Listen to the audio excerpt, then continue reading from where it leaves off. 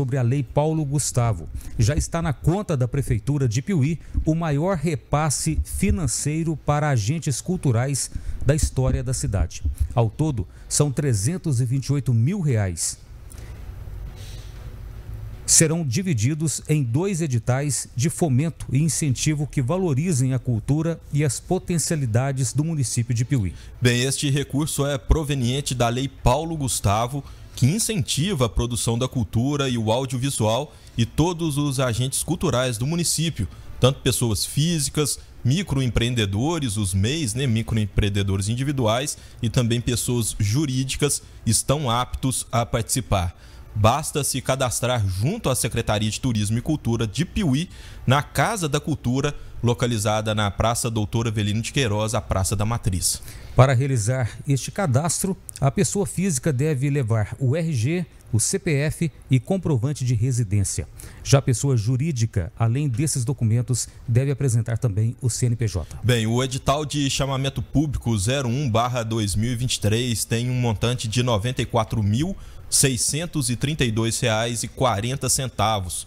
Tiago Santos, secretário da pasta, explica como serão divididos os recursos. Esse montante ele está dividido em duas categorias: bandas, grupos musicais e artistas solo ou em dupla. Então nós vamos premiar oito bandas com o valor de quatro mil reais para cada banda, totalizando 32 mil reais. Então Creio que a gente vai atender todas as bandas aqui do município de Piuí, vão ser premiadas, vão receber 4 mil reais até no final de setembro e vão ficar devendo o show para fazer, executar aqui para o nosso município em praça pública para a nossa população. Do mesmo jeito, as duplas ou artista individual. Nós vamos premiar 31 dupla ou artista com a premiação de R$ 2.020,40.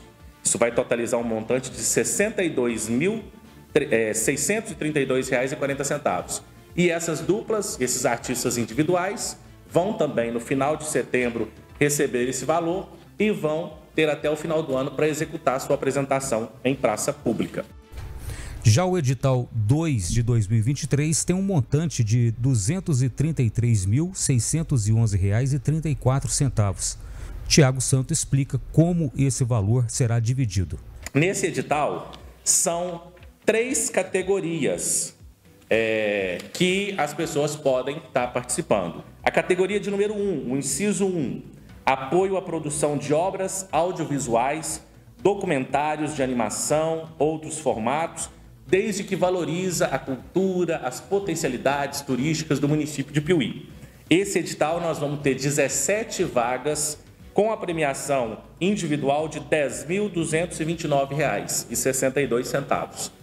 Então, nós vamos premiar 17 pessoas, grupo, empresas do ramo do audiovisual, no valor de R$ 10.229,62 cada uma, que totaliza um montante de R$ 173.903,70, para que essas empresas, no prazo de três meses, como disse o prefeito, até dezembro, produzam é, videoclipe, documentário, é, audiovisual que valorize a cultura, o turismo, nossas potencialidades e depois apresente isso em praça pública.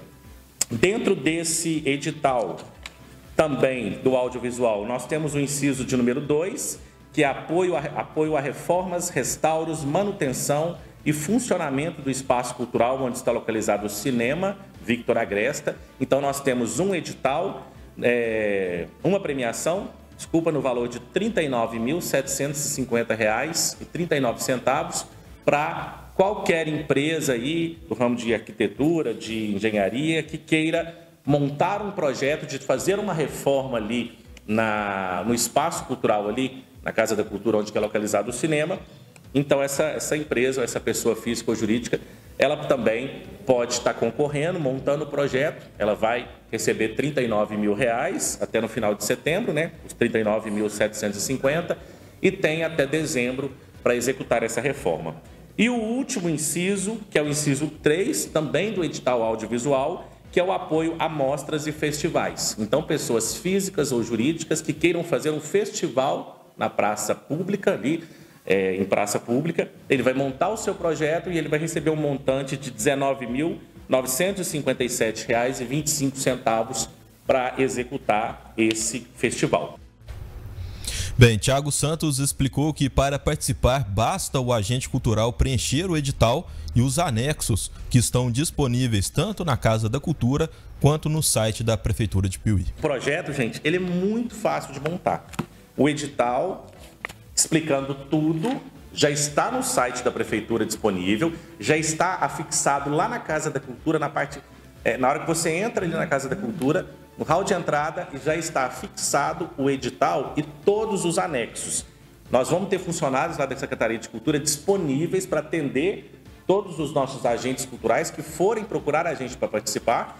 E aí, ele é muito explicativo. Ó. Você é pessoa física ou jurídica? Pessoa física, o pessoal vai fazer o xizinho e vai preencher todos os dados. E a parte, se for pessoa jurídica, tem o campo destinado à pessoa jurídica e ela vai preencher o que, é o projeto dela, ó, descrição do projeto, objetivos, metas. Então é muito autoexplicativo, é bem fácil e a gente vai fornecer isso aqui. Então, por exemplo, eu estou concorrendo ao audiovisual, por exemplo, um prêmio de R$ 10.200.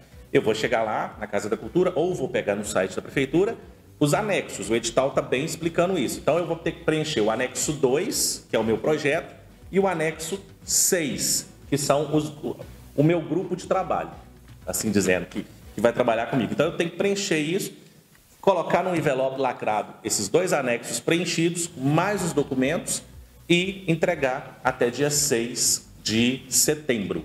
O último dia vão ser 20 dias que esses editais vão ficar abertos. Dia 6 de setembro finaliza esse projeto de inscrição de entrega dos projetos e aí é, já na outra semana, no início da outra semana, a comissão vai avaliar e vai pontuar todos os projetos. O projeto vale 80 pontos, que é a avaliação dele, tá? E quem tirar acima de 50 pontos já está apto a estar tá participando. Bem, quem for contemplado deverá prestar a sua contrapartida, seja ela um show musical, apresentação de festival, documentário ou cerimonial, até o dia 20 de dezembro de 2023 tem até o dia 20 de dezembro para serem apresentados, porque eles têm que prestar conta dentro desse ano. O exercício da Lei Paulo Gustavo é de 1 de junho de 2023 a 31 de dezembro. Então, no edital, a gente colocou isso no edital, que eles vão ter até dia 20 de dezembro para executar. Aí, depois de 20 a 30, ele presta conta. Mas a prestação de contas é bem simples do mesmo jeito que tem o formulário de inscrição, que ele monta o projeto aqui e entrega para a gente, tem o formulário da prestação de contas. Bem, reforçando para quem se interessou e deseja participar dos editais de fomento à cultura, o último dia para envio dos projetos é o dia 6 de setembro. A Secretaria de Turismo e Cultura disse ainda que irá realizar o pagamento de todos os contemplados até o final do próximo mês para que os projetos possam ser executados e apresentados ao público até o final do ano.